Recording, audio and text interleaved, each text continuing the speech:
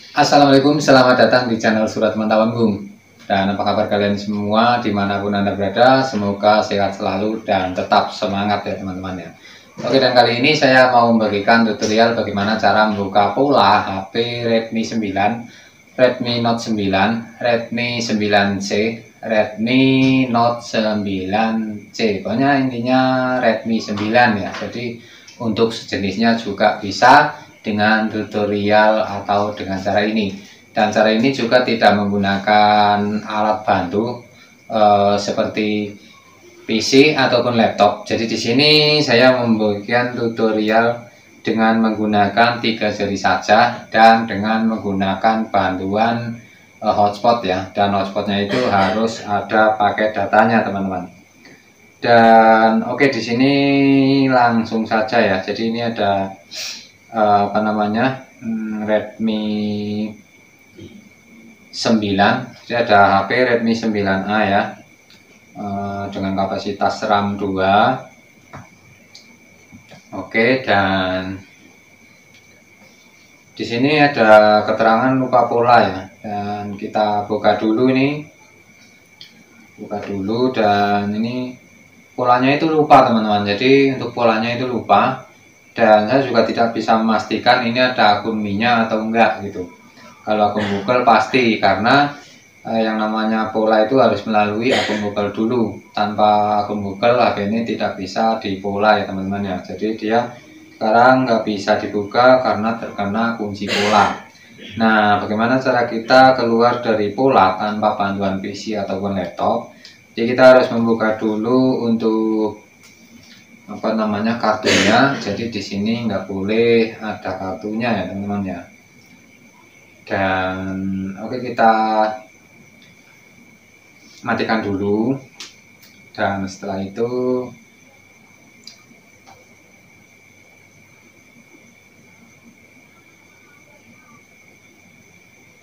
langsung saja untuk caranya ya. Jadi udah setelah dimatikan itu kita tinggal klik tombol volume atas dan tombol uh, power ya. Jadi kita klik dulu tombol volume atas setelah ketekan lalu disusul dengan power. Dan kita rasakan saja setelah ada getaran kita lepaskan untuk uh, ke tombol powernya saja. Jadi untuk volume atasnya atau volume upnya itu jangan dilepaskan dulu. Jadi tahan seperti ini hingga mati dan muncul ada tiga kotak bagiannya. Dan teman-teman bisa pilih yang with data dengan menggunakan uh, volume atas dan volume bawah untuk jalan dan klik OK untuk hmm, tombol powernya ya. Jadi untuk naik dan turunnya itu pakai tombol volume dan untuk OK nya atau untuk yes nya itu dengan menggunakan tombol power teman-teman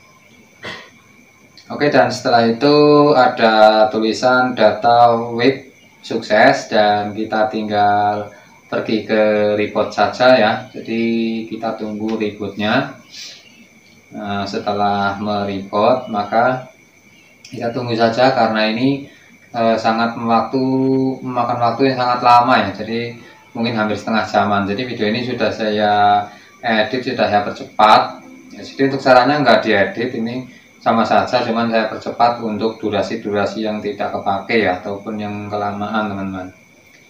Nah oke okay, setelah muncul ada MIUI seperti ini maka akan tampil tulisan just a second ya jadi dia menunggu waktu. Nah dan setelah itu akan muncul MIUI nya teman-teman. Jadi di sini ada muncul MIUI ini kebetulan sudah MIUI 17 ya ataupun MIUI bekas updatean jadi sudah diupdate rupanya.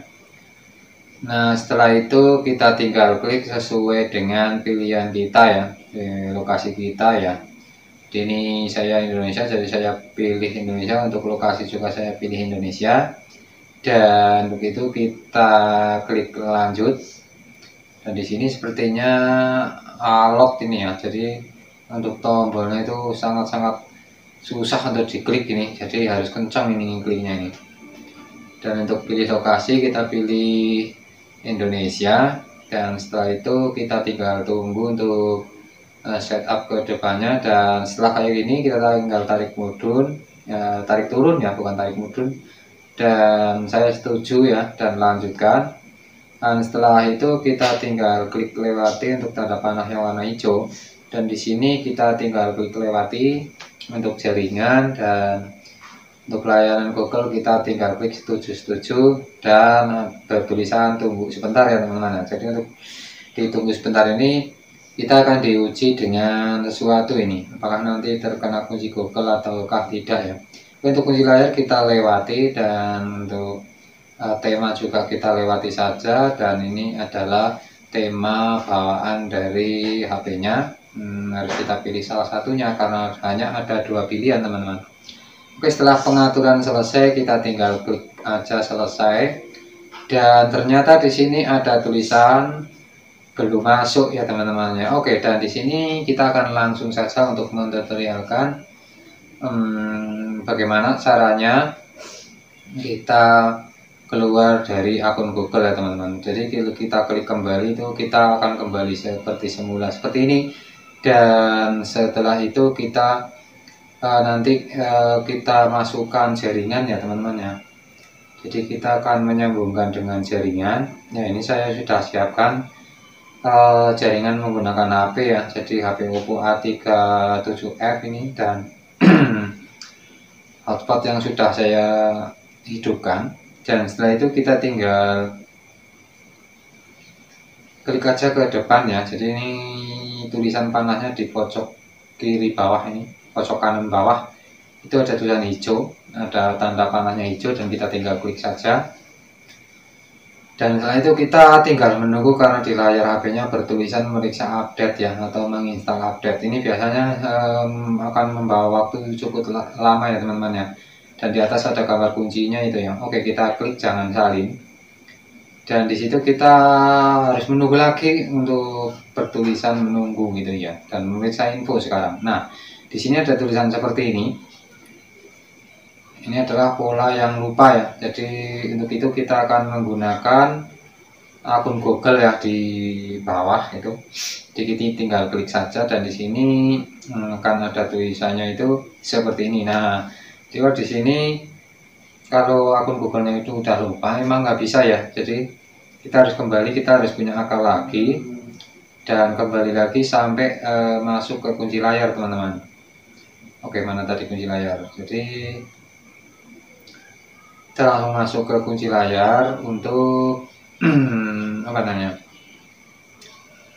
Membuat sandi baru ya. Jadi kita akan membuat kunci layar baru. Karena yang tadi itu lupa ya. Jadi kita matikan dulu untuk jaringannya kita lupakan. Ya jadi kita akan masuk ke tidak menggunakan jaringan agar kita dibawa ke keamanan layar ataupun pola nah seperti ini ya. Jadi saya akan membuatnya pola yang lebih gampang dan di sini tulisan ingat sandi anda dan kita tinggal klik mengerti. Dan saya akan membuat uh, pola yang mudah saja ya. Intinya nanti agar kita uh, bisa membuka HP ini. Dan nanti setelah terbuka juga hmm, sandi ini akan kita buang ya teman-teman ya. Oke dan setelah itu kita klik setuju. Kita tinggal klik ke depan ke depan seperti tadi ya. Dan setelah itu ada tulisan uh, belum masuk rupanya dan oke okay, kita akan mencoba untuk menyambungkan lagi untuk sinyalnya ya teman-teman ya.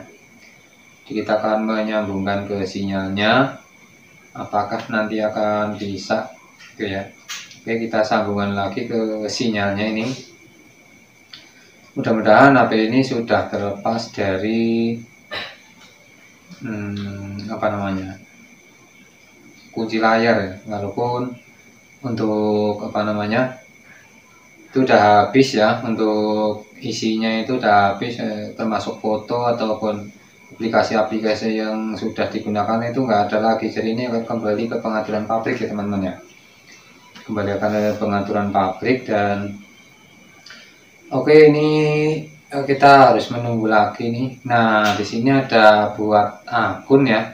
Itu berarti di bawah ada tulisan lewati, teman-teman. Jadi di bawah itu ada tulisan lewati nggak kayak tadi. Nah, di sini kita bisa lewati dan untuk gambar uh, gemboknya itu di layar pojok atas kiri itu nggak ada udah ya udah hilang jadi untuk gemboknya itu udah nggak ada dan saya yakin ini sudah aman teman-teman oke kita lewati saja dulu kita klik ya jadi nggak ada yang digital ya biar cepat ini ke layar depannya karena ini hanya sebuah tutorial saja. Dan semoga untuk tutorial ini bisa dipahami untuk teman-teman yang di, ya, baru pemula ya. Jadi teman-teman yang bingung ataupun jauh dari tempat-tempat servis HP dan tiba-tiba HP Redmi 9A nya itu terkunci layar ya caranya seperti itu teman-teman. Oke kita lanjutkan aja dulu sampai selesai ya. Kita tinggal klik OK dan di situ ada pengaturan selesai dan untuk gambar gemboknya di atas sudah nggak ada ya ini saya yakin itu HP-nya sudah bisa digunakan walaupun isinya itu habis untuk yang sebelumnya ya. Nah, di situ udah jadi teman-teman ya. Dan semoga teman-teman bisa menyimak karena ini sangat mudah dan tidak menggunakan alat bantuan PC ataupun laptop ya teman-teman ya. Jadi untuk Redmi 9 atau Note 9 atau 9C atau 9A itu caranya mungkin masih sama ya, masih bisa dengan cara ini dan terima kasih yang sudah menyimak untuk video kami. Salam sukses dan semoga sehat selalu.